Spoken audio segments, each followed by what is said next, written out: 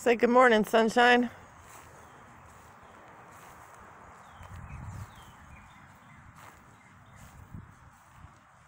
Can't do this at the apartment, huh? Probably could, but fire department may not like it.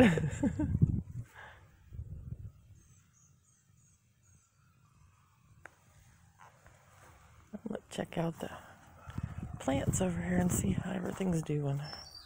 You guys, something's eating my tomatoes. I need to put some dirt around them. I haven't had any time, and when I do have time, the weather isn't helping. So, this one here is being eaten on. I don't know if you can see it. This one's almost dead. This one's not doing terrible, but needs some dirt. And the other one right here is gone. Don't remember what this is. Yeah, I think there's something in this bucket that's actually munching on those. Mm-hmm. That's what I But- think too. I also think it may be gone because they're trying to grow back. Yeah.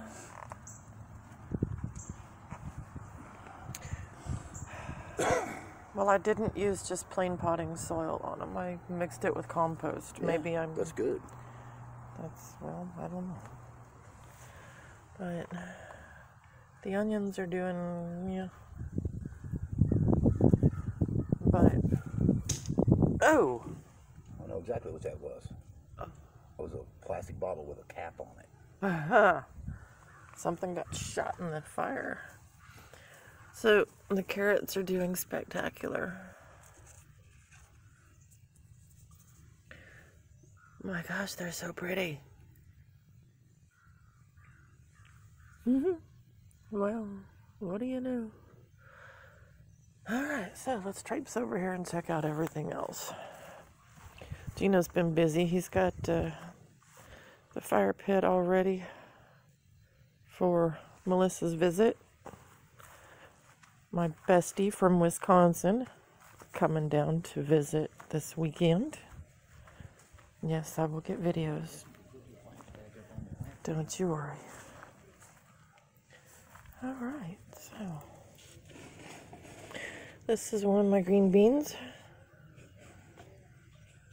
There's a tray of lettuce that I transplanted from over here that um, is just in bad shape. And I have this little guy. Now, mind you, I can't tell you what half of these are. But I'm growing stuff and I know it's edible. Uh, my tomatoes are not doing well this year. And I was bragging on my tomatoes, man. Just bragging on them. I'm going to leave those there. Oh, hello, Mr. Worm. Look at him right here.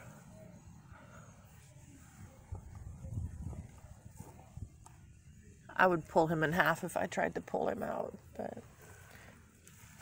well, I'm just gonna leave it the way it is because I maybe when the sun comes out, If the sun ever comes back. if the sun ever happens to appear again in the state of Oklahoma. Yeah.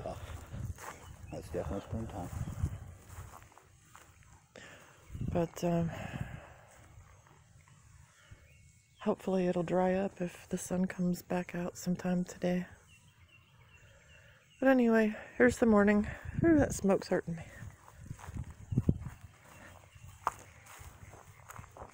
Oh, we got a squirrel back there too. Birds, geese.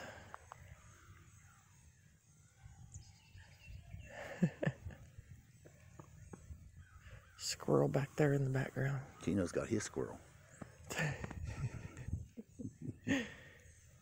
Oh, I forgot to flip my camera. Oh well. There once goes one of those bees. I'm trying to learn this video thing, you guys. Hey, they're trying to catch stuff over there. Who is? Hmm. I guess maybe. Goose goose?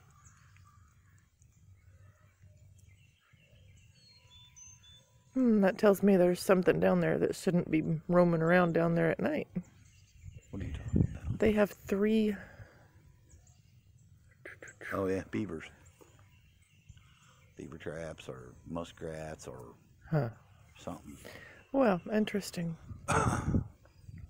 Squirrel, uh, not squirrels, uh, possums or raccoons. No, no knowing what kind of traps those are. I wonder where the guineas are. Uh, they were floating around up in there earlier. I don't know where they're at now. You know guineas are. They fly around everywhere. You should not hear them. I must be settled down or something, but I ain't Yeah. right, not during the day. Well, it's chilly, so maybe.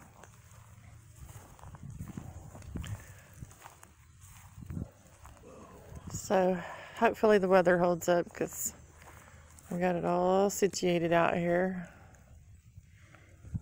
So we can have us a nice little fire, chit chat, hang out, maybe roast some wieners.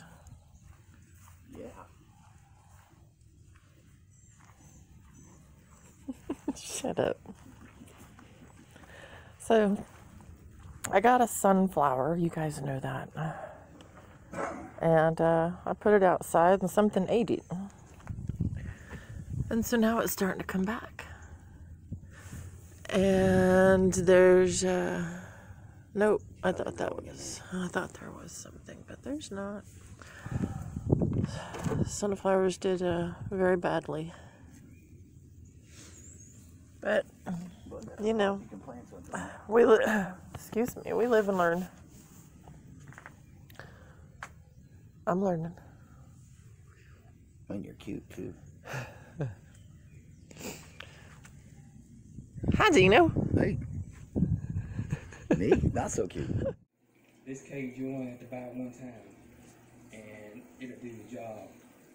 I'm gonna put them around my big vine and tomatoes, and I got one tomatillo that I'm gonna put it on too. And the reason why I'm putting them on my indeterminate tomatoes, if you don't know the difference between indeterminate and determinate, indeterminate just keep growing. They're like a huge vine, but they just keep going, and they'll produce tomatoes pretty much all season long. Uh, so they get really, really, I want to say like big, Hey guys. So, today is Wednesday. Uh, couldn't tell you what date it was. Maybe the 12th. Let's see. Friday is the 14th. So yes, today is the 12th. Um, I'm out here weed eating because that's what needs to be done. And uh, it's a beautiful day. Check it out. Birds are singing. Geese are flapping down there. I don't know if y'all can hear that, but um, so Gino has both pair of my sunglasses, so it's making it kind of hard for me to see out here. But uh, I'm getting it done. So the last time I mowed and weed eated a couple weeks ago, a week ago, whatever it was. Um, my weed eater died, and then it got too late, and I couldn't finish.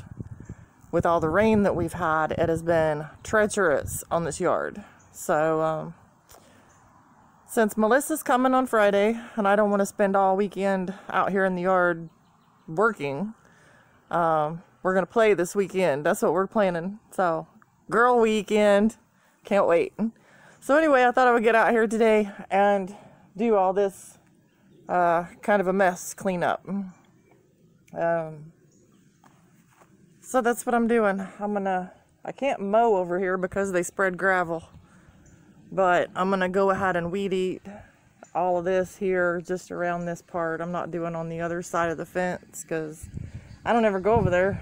Um, but I'm gonna try to clean up all this over here. I gotta box up the garden hose um, because I don't know if if I even posted that video or not. But that garden hose, I don't know if you guys can see that. I don't want my weed eater to fall on me.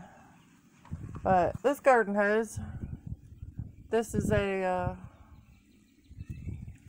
fiber something, fiber jacket, I think is what it was called. It's from Expert Gardener. And um, quick little story about that, and I'll link some videos to it or put them in the description or whatever. Um, but that garden hose was $50 at Walmart, and it was a 100 foot hose, and it was supposed to be lightweight, no kinks, no nothing like that And um, I get it out here and I hook it up to the water. And uh, what, two days maybe? Two, three days?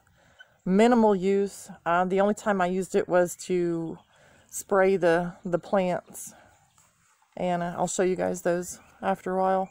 But the only time I used that hose was to spray the the veggies in the buckets. And you guys know there's what, like 10 buckets, so not a whole lot of usage. So it busted. And luckily I had registered it online on their website. And I got a hold of them um, via their website and told them what happened. And I, I just was kind of telling them I'm kind of disappointed because I had hoped it would work. And um, anyway, they sent me another one, like, I don't know, maybe the next day or two. Um, it was in the mail and it was here within a week. Um, funny story about that is that, uh, hey Gino, the, the bee spray didn't work. They're still out there. So, all right. Um, so anyway, back to the hose. Jean had taken it to Walmart with the receipt and gotten the money back. So essentially, I got a free hose. Uh, my opinion, if they're made that poorly, they should just be given away.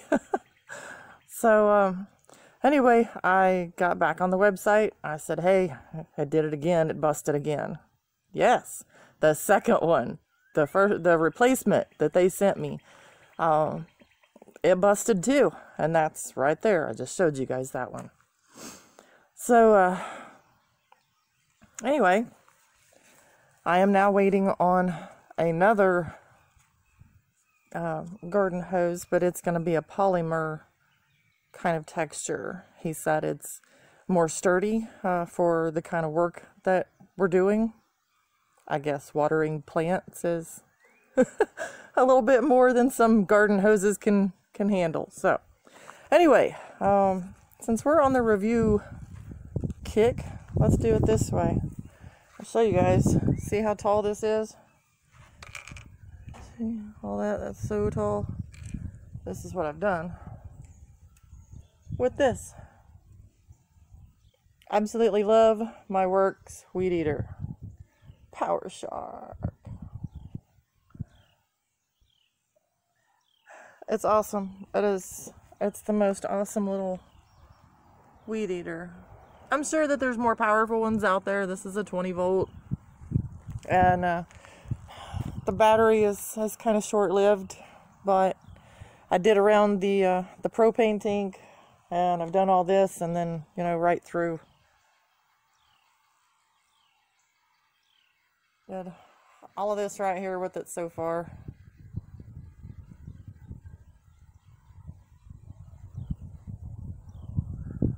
And I don't know if you guys got that because, like I said, I can't see out here without my sunglasses.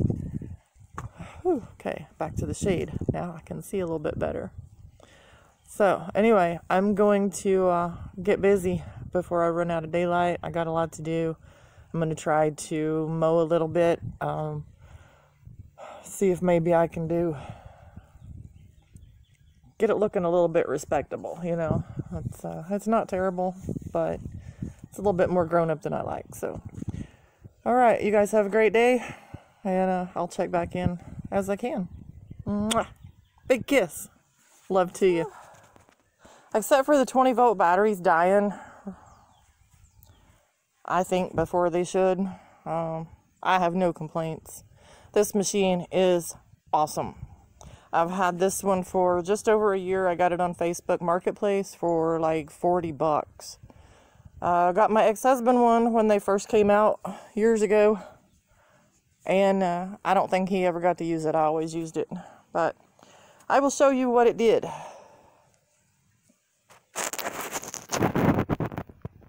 Y'all see how y'all see how high that grass is back there?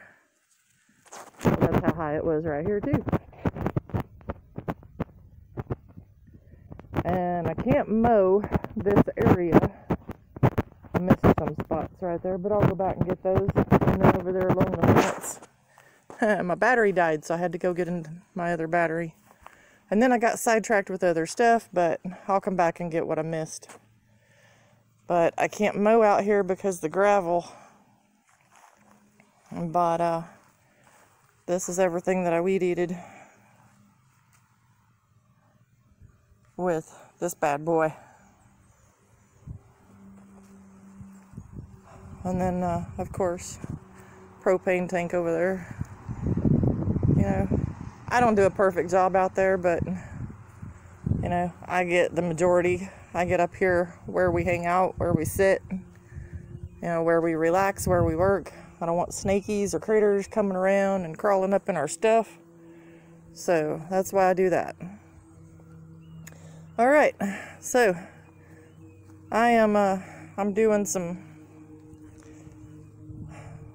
additions here. Jess over at Roots and Refuge. I don't know if that little worm's gonna make it. But Jess over at uh, Roots and Refuge,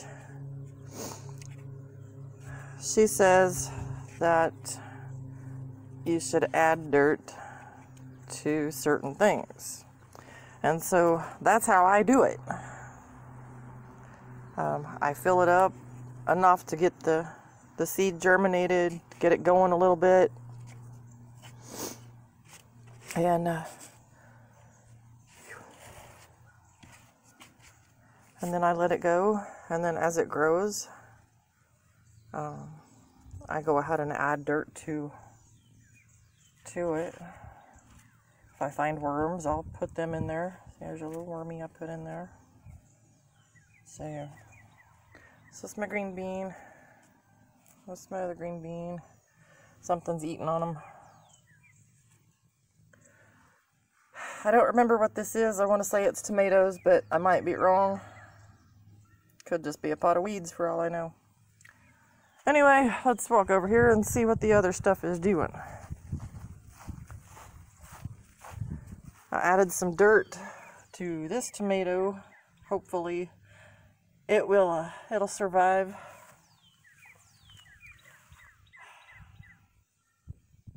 My okra's not doing real good. I think it's just not hot enough yet. And this is uh, peas. And my tomato transplants are not doing, ugh, man, they look bad. I'm hoping that the weather will warm up and help them out. I'm just going to leave them alone and pray for the best. And uh, the onions there.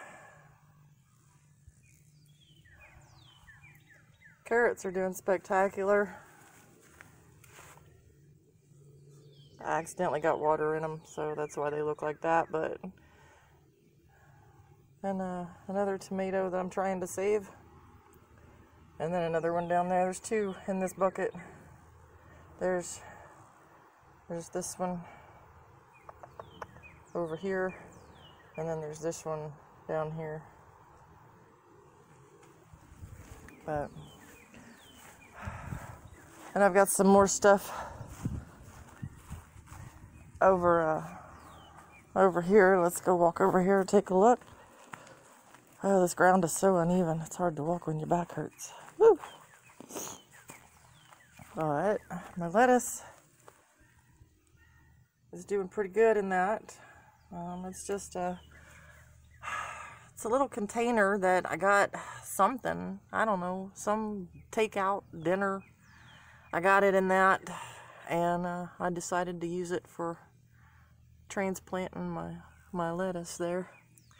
And this was the original lettuce, but it looks bad. I mean, it's it's growing, but it just looks bad. And it doesn't taste real good, and I think it's just bunched up too much, which is why I did that. So, anyway, I got work to do. Y'all hang tight, I'll be back. Hey, you guys. Um, wanted to kind of do a follow up, kind of a summary uh, of the day, and let you guys know where things are now. Um, as you guys know by the beginning of the video, my best friend Melissa is coming in this weekend to visit. Um, she is coming from Wisconsin. So, Wisconsin and Oklahoma are 12 hours away from each other.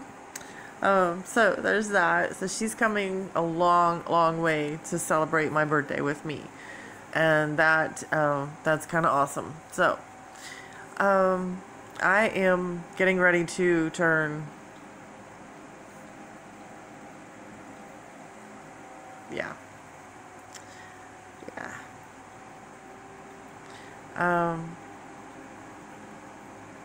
some people say I don't look it. You don't look that old. How old are you? You're still in your 30s. yeah, okay. That'd be awesome. I would I would absolutely love that. If I were if I were still in my 30s, so much would be different today. Um but anyway, I digress.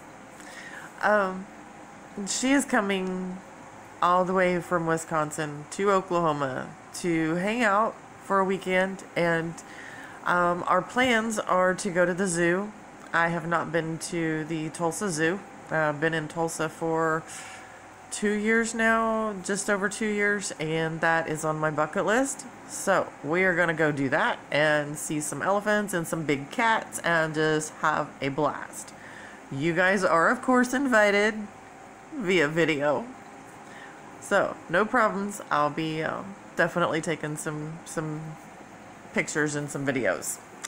Um, we also are expecting rain. Um, we're expecting some storms. Not looking forward to that at all, but you know, it's Oklahoma, it's May, and why not? So, in order to prepare for her visit, uh, we we got the bed out of storage so she would have somewhere to sleep. Uh, wood floors are probably not ideal for for the uh, uncushioned individuals. Yes, I'm talking about you, Melissa, you skinny thing. Um, wow, what else did I do today? I, I just cleaned the house, you know, I got everything kind of put up and organized.